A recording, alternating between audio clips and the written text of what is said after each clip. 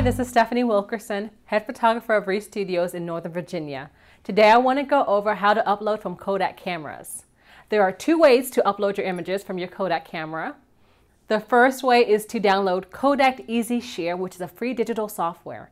Make sure the power to your camera is set to off. Then connect your camera to the computer using the USB cable that came with your camera, then turn on the power to your camera. When a dialog box appears, click Import Pictures, then follow the prompts.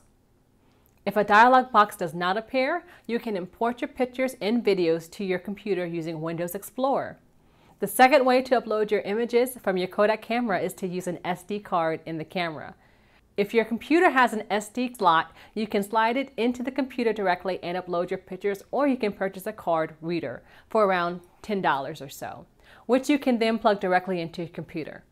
Either way will give you access to your images. However, if you would like more editing control, I recommend using the SD card option.